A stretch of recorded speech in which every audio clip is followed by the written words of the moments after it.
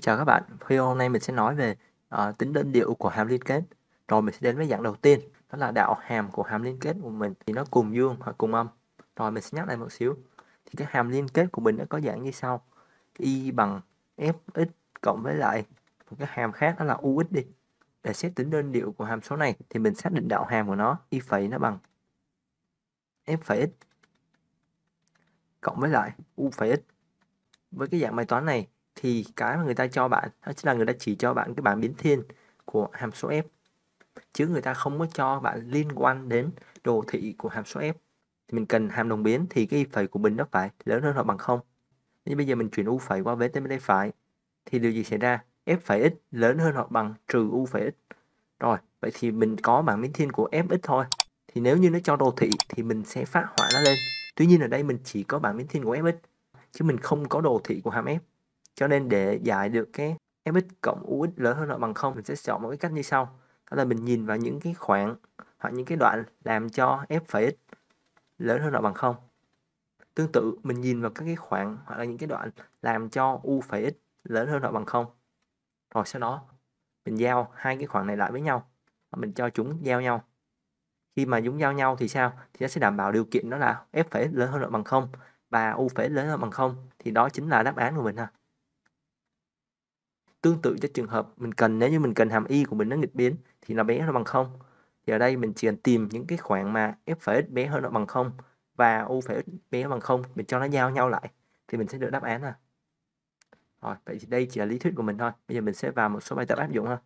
Rồi, mình đến với câu số 77 cho bằng xét dấu đạo hàm của hàm fx rồi người ta hỏi hàm số f của x trừ 3 trừ cho x mũ 3 chia cho 3 cộng 2x bình cộng 2019 đồng biến trên khoảng nào dưới đây rồi, vậy thì bạn xác định cho mình thứ nhất đó là y phẩy của mình nó bằng cái gì?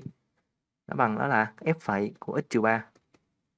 Rồi sau đó là trừ cho x mũ 3 chia cho 3 mình đạo hàm thì ra được là x bình phương cộng 4x. Hàm này đồng biến thì y phẩy của mình nó phải lớn hơn hoặc bằng 0 nếu như mình chuyển cái lượng trừ x bình cộng 4 này qua bên tay phải, thì mình ra được đó là, đây là mình nháp ở ngoài nháp thôi nha. Nếu như mà mình chuyển như vậy thì điều gì xảy ra? f phải của x trừ 3 lớn hơn hoặc bằng x bình trừ cho 4x. Nếu như mình có đồ thị của f phải x và cái đồ thị của x bình phương trừ đi 4x này và mình phát họa nó lên thì mình sẽ nhìn nó dễ hơn. Tuy nhiên ở đây cái f phải x của mình mình chỉ có bảng xét dấu của nó thôi. Mình không có đồ thị của nó.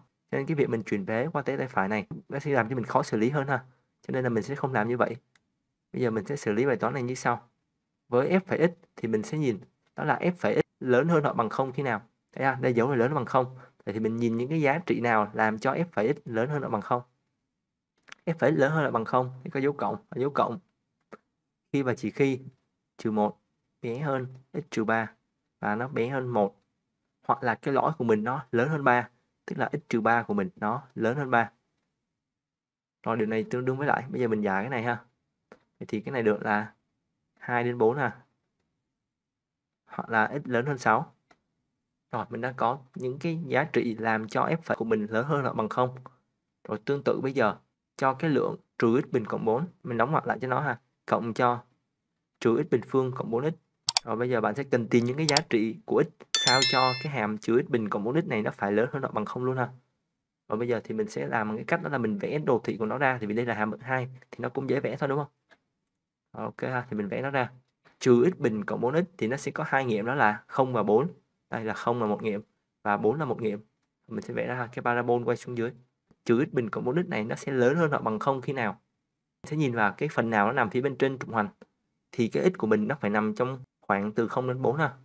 Nghĩa là 0 bé hơn x bé hơn 4 rồi khi mình đã có được hai cái điều kiện này rồi bây giờ mình sẽ kết hợp hai cái này lại. Thì khi mình kết hợp hai cái này thì mình sẽ thu được đó là hai bé hơn x và bé hơn 4 ha. Đây chính là cái đáp số của mình 2 đến 4 mình chọn phương án C. Như bạn thấy, cái việc mà mình giải được cái bất phương trình này thì nó rất khó. Tuy nhiên bây giờ mình sẽ nhìn vào các cái khoảng mà làm cho cái f x này nó lớn hơn bằng không. Và mình nhìn vào cái khoảng làm cho cái lượng trừ x bình cộng 4x lớn hơn bằng không này, làm sao cho hai khoảng này nó cùng dấu với lại cái dấu mình đang cần đây ha. Vậy thì mình ra đáp án là 2 đến 4 câu 81 cho hàm y bằng fx có bảng xét dấu đạo hàm như hình vẽ biết fx thì nằm trong cái khoảng từ 1 đến 5 khi đó hàm gx của mình thì nó sẽ nghịch biến trong khoảng nào dưới đây. Rồi bây giờ để xác định được tính đơn điệu của hàm gx thì mình phải tính đạo hàm của nó ra. G phải x của mình thì nó bằng đạo hàm cho mình ha, cái hàm này mình sẽ coi đây là fu.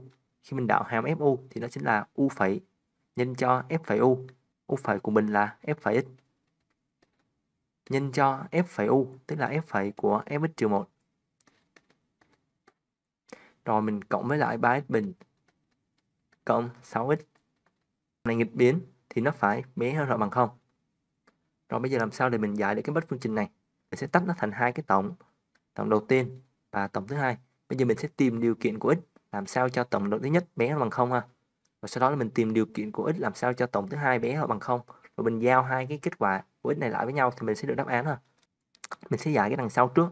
3x bình cộng 6x thì như mình vẽ cái parabol này ra ha ta sẽ có hai nghiệm đó là x bằng trừ 2 và x bằng 0 thì khi mình vẽ parabol này ra thì để cái 3x bình cộng 6x của mình nó bé hơn không thì nghĩa là nó phải nằm phía bên dưới trục hoành ha. Tức là cái phần mình vẽ màu vàng đây. Đó thì cái nó, nó nằm cho phần này khi nào? Thì cái x của mình phải nằm từ trừ 2 cho đến 0 ha. Tức là trừ 2 bé hơn x và nó bé hơn 0 để cái lượng f phẩy x nhân cho f phẩy của fx trừ đi 1 nó bé bằng 0 thì bây giờ mình xử lý nó như thế nào đây? Rồi, thứ nhất là bạn chú ý cho mình như sau. Fx của mình thì nằm trong cái khoảng từ 1 đến 5 cho nên là fx trừ đi 1 thì sẽ nằm trong khoảng từ 0 đến 4 Đây là mình sẽ coi cái lõi đó là u. Cái u của mình nó sẽ nằm trong khoảng từ 0 đến 4 vậy thì cái f phải u thì sao? Từ 0 đến 4 ở đây. Các bạn thấy không? 0 đến 4 thì cái f phải của mình nó sẽ có dấu âm. Cái lượng f phải của fx trừ đi 1 thì nó sẽ luôn bé hơn là bằng 0 cái tích này bé hơn là bằng 0 f phẩy x của mình nó phải lớn hơn là bằng 0 tức là cái f phẩy x của mình, để nó lớn hơn bằng 0 thì nó chỉ có hai khoảng thôi. Thứ nhất đó là từ trừ 3 đến 0 hoặc là từ 5 đến dương vô cùng. Trừ 3 cho đến 0 hoặc là từ 5 cho đến dương vô cùng. Như bạn thấy, kết hợp với cái điều kiện ở bên trên, đó là trừ 2 bé x và x bé hơn 0 thì mình kết luận được cái khoảng mình cần đó là từ trừ 2 cho đến 0 trừ 2 cho đến 0 thì mình chọn phương án A ha.